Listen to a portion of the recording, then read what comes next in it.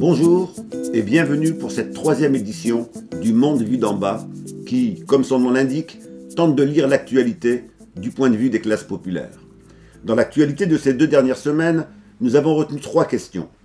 D'abord, la révolte du peuple sénégalais contre le régime néocolonial de Macky Sall. Ensuite, ce que les grands médias appellent de manière réductrice les violences urbaines. Et enfin, la pénurie de places hospitalières conduisant une nouvelle fois à reporter des interventions pour libérer des lits pour les malades de la Covid. L'arrestation du leader de l'opposition Ousmane Sonko au Sénégal a déclenché une série de manifestations populaires massives. Pendant une semaine, les affrontements avec les forces de police ont été quotidiens et ont déjà fait cinq morts. L'arrestation de Sonko n'est que le déclencheur ou la goutte qui fait déborder un vase de colère sociale déjà plein. Derrière ce déclencheur se cache la véritable cause que l'on peut trouver en observant les cibles de la colère populaire. En effet, les manifestants ont dirigé leur colère vers les symboles français. Ainsi, par exemple, 14 magasins Auchan ont subi des attaques des manifestants. On compte aussi plusieurs attaques contre des entreprises françaises comme Total ou Eiffage. Les slogans des manifestations vont dans le même sens. À côté du slogan Libérez Sanko ou Macky Sall dégage, on pouvait aussi entendre France dégage ou Auchan dégage. Ce que le peuple sénégalais conteste dans ces manifestations, c'est le néocolonialisme, c'est-à-dire une politique économique au service des intérêts des multinationales et en particulier des grands groupes industriels et commerciaux français et au détriment des besoins du peuple sénégalais. C'est pour mener de telles politiques de pillage que l'Union européenne en général et la France en particulier soutiennent à bout de bras leur gérant au Sénégal qu'est le président Macky Sall.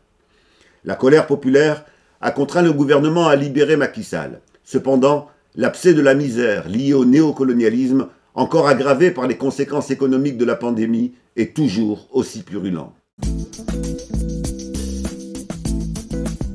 L'actualité est malheureusement également marquée par ce que les médias appellent violence entre bandes. En deux semaines, plusieurs affrontements entre bandes de jeunes dans la région parisienne ont fait plusieurs victimes. La couverture médiatique a comme d'habitude été sensationnaliste, avec des discours alarmants sur la violence des jeunes, le besoin de fermeté, la responsabilité des parents. Les fameux éditorialistes, faiseurs d'opinion, s'en sont donnés à cœur joie pour diffuser des discours de panique et évacuer toute réflexion sur les causes sociales de la situation des quartiers populaires et de leurs habitants. Les explications dominantes de ces éditorialistes passent sous silence la base matérielle de ces violences. Peut-on vraiment comprendre ces violences en passant sous silence les processus de paupérisation, de précarisation et de discrimination qui touchent ces quartiers populaires et leurs habitants depuis quatre décennies?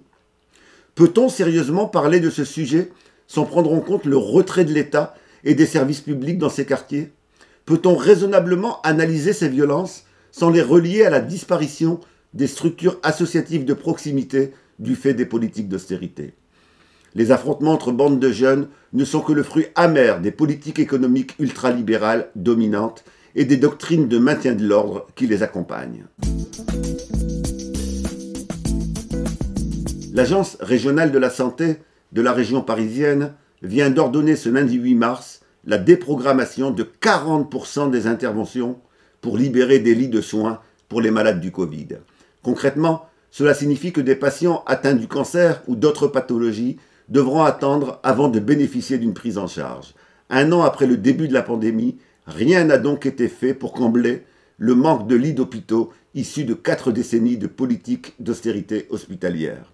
Ne soyons pas étonnés de cette inertie. Elle est le résultat de choix conscients, comme en témoigne le budget 2021 adopté en début d'année.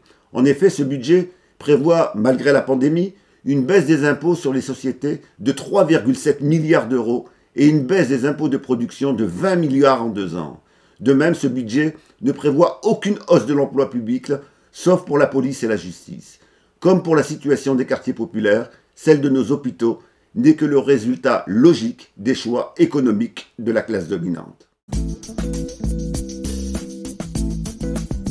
Le savoir est une arme, et il commence par le savoir s'informer. Nous espérons que notre émission a apporté sa contribution à cette information citoyenne nécessaire et urgente. N'hésitez pas à nous transmettre des sujets d'actualité que vous souhaitez voir traités dans notre émission. Nous vous donnons rendez-vous la semaine prochaine pour une nouvelle séance du monde vu d'en bas.